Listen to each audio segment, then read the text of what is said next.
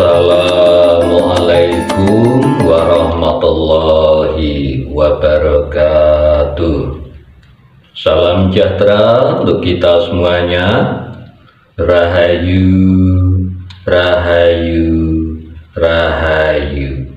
Pada kesempatan kali ini saya akan membagikan sebuah ilmu yaitu ilmu pengasian atau ilmu pelet tetapi sebelum ilmu ini saya bagikan kepada panjenengan semuanya, saya berwanti-wanti agar ilmu ini panjenengan gunakan dengan sebijaksana mungkin.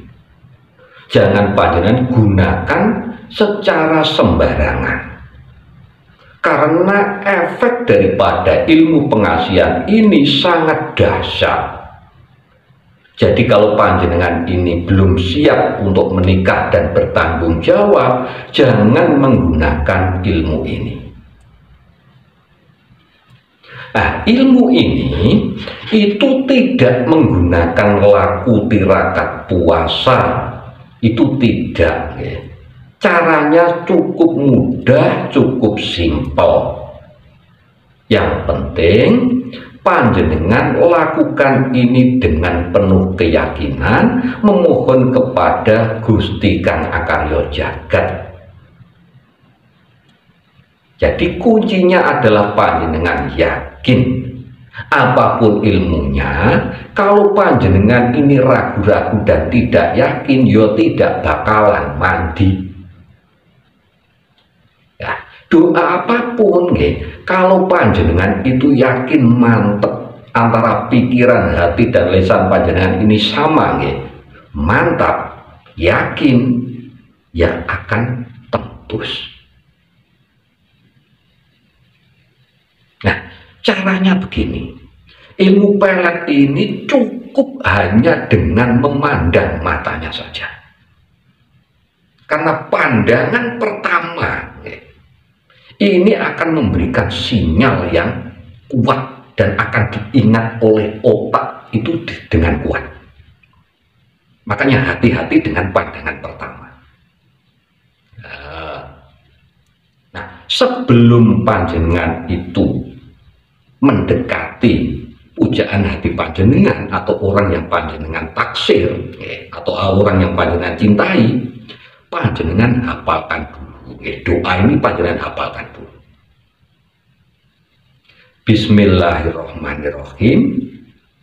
Sir ya Fatah Fatah Yasin. Nah, itu panjenengan baca tiga kali. Jadi semua begini kan. Jenengan ini sudah mau ketemu sama orang itu tadi sebe, se, se, setelah ketemu nggih panjenengan baca Bismillahirrahmanirrahim Sir ya Fatah Fatah Yasin. Itu tiga kali. Sir ya Fatah Fatah Yasin. Sir ya Fatah Fatah Yasin. Sir ya Fatah Fatah Yasin.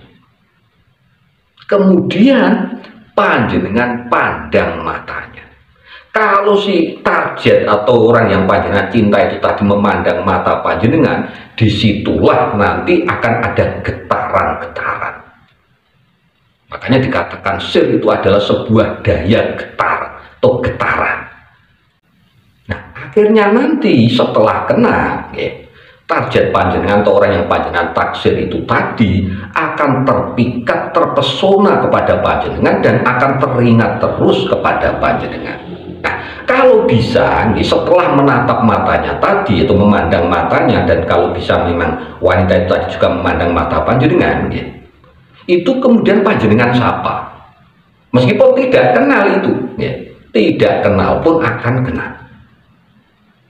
Panjenengan sapa, ya, dengan senyuman, ya, panjenengan sapa dengan ramah, ya, tapi sekali lagi dengan niatan yang baik, niatan yang tulus. Jangan untuk main-main. Kalau untuk main-main, resikonya tanggung sendiri. Karena tanggung jawabnya ada pada diri panjenengan sendiri. Nah, nanti suatu saat, ya setelah itu tadi, entah beberapa hari nanti pasti akan menghubungi panjenengan karena getaran itu tadi akan teringat terus dalam memori kepalanya ya. dalam memori otaknya itu akan teringat terus Ya, sekali lagi ya, saya ulangi cukup panjenengan baca sebelum ketemu tadi ya, setelah mau ketemu ya, Bismillahirrahmanirrahim Sir ya Fatah Fatah Yasin Sir ya Fatah Fatah Yasin Sir ya Fatah Fatah Yasin tiga kali pandang matanya. Kemudian panjenengan sapa.